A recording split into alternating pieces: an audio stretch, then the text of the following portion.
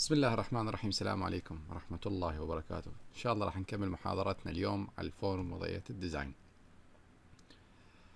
آه الشيء راح أسويه اليوم شنو هو؟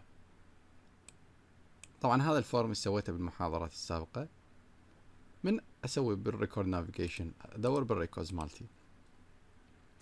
افرض أن أنا عندي 100 موظف 200 موظف 300 موظف.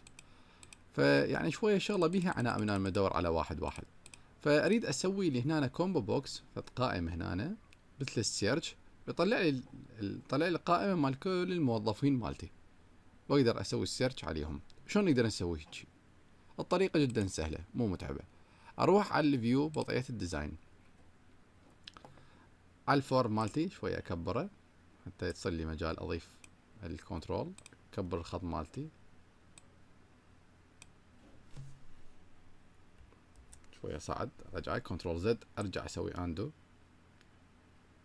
قلت اني من يختفي معناها أنا جاي يمشي صحيح. ال employee London employee شوية اجيبه اللي جاي. okay. أروح على ال combo box. combo box هذا القائمه المسدله هذا السهم اللي جوا وبيها مثل ال scroll. هاي القائمة اللي هي combo box. أضيفها. راح يطلع لي مباشرة combo box wizard اللي هو اللي متخصص بيه بال combo box المساعد مالته راح يساعدني. شو يقول إيش تريد تسوي بال combo box؟ تريد تجيب بيانات من غير من يعني من غير جدول أو query أو تريد تكتب أنت البيانات اللي يعني اللي أنا أحتاجها؟ أو يقول لي أنت تلقى record بال form مالتي معتمدة على على معلومة أنا راح أختارها من ال combo box. شنو يعني؟ يعني أختار ال combo box وراح يوديني لل records مالته. يعني هسه راح نختارها شوية تصير فكرة واضحة عندنا. طبعا أنا الخيار الثالث. شغلي أني. next يقول لك يا يا يا record أنت يعني تريد يعني تخليه بالاولويات مالتك بالبحث. اللي أنا أختار ال name. okay؟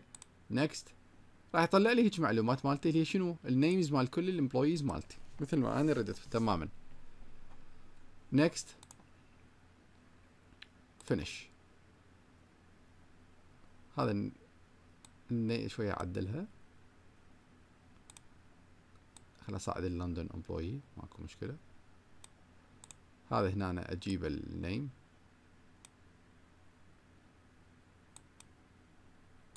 أسميه search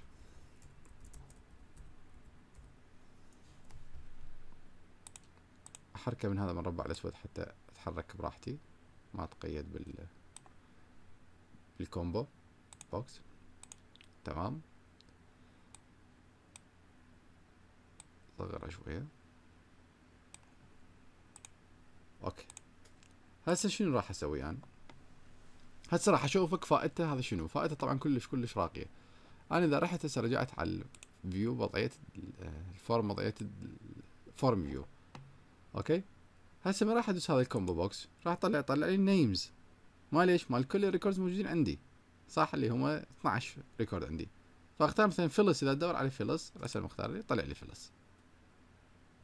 فصارت شغلة مثل السفيك تشونغ يعني شغلة صارت مثل ال search وشغلة كلش سريعه وراح يعني تختصر لي هواي وقت.